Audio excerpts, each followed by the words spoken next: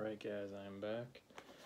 Wanted to show you guys Walmart, Dollar Tree, and Salvation Army? Yeah, that's, that's what it was.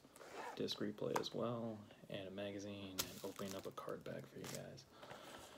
Disc replay, Crawley. Can't wait to check this out. I paid five bucks as you can see.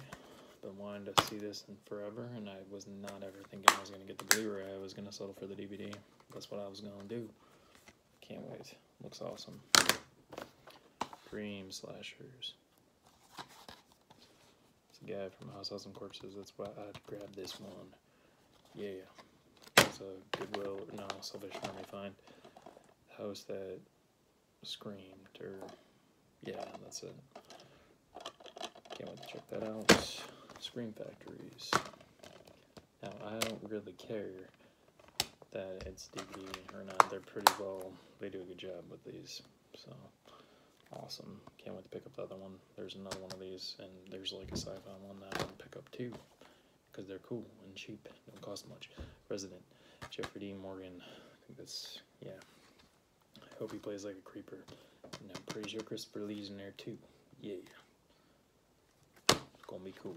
Got this mainly for the see-through case that you normally don't get for a buck. Yeah, I'm gonna jump on that. And I prefer the other cover because this cover looks cooler. It's reversible art. Mark Hamill is in this, so can't wait to check that out. I may actually watch that.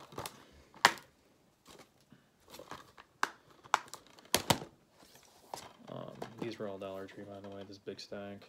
I mean, four movies for a buck. Are you kidding me? Of course, I'm gonna get that. Especially decent movies. Whoa. That's what happens when you get all these movies. They just go everywhere. You have no control. Alright, Scooby Doo. Yeah. Another Blu-ray. Vampires or something, I don't know. Yeah. Slipcover and all. Another slipcover one. I was always curious about this when it first came out. I actually seen it, it's okay. Steve Dorff's in this as well. I got that. I seen him right there. Yeah. Funny movie. This guy's hilarious in it. Two good actors. Hilarious. And, um, yeah, plans for kiddos. Another Steve Dorff one. And then I saw that you had the Fargo bad guy, and I was like, I'm on board. I don't care how low budget it is. But I can't argue. Looks awesome. Desert. Crazy stuff going on. Open up this Star Trek Next Generation. As you can see in the back there. See what you guys think it is. Oh, yeah. Yeah, and they got like those stickers in here. They're just kind of blah. Yeah, nothing too crazy. And yeah, Picard. I did subscribe and I got CBS now and I'm watching it and I love it. Very happy. That's why I got this magazine when I was out grocery shopping. I was like, yeah, I want to buy that. Next uh, video is going to be Doctor Sleep, so stay tuned for that. See you guys next time.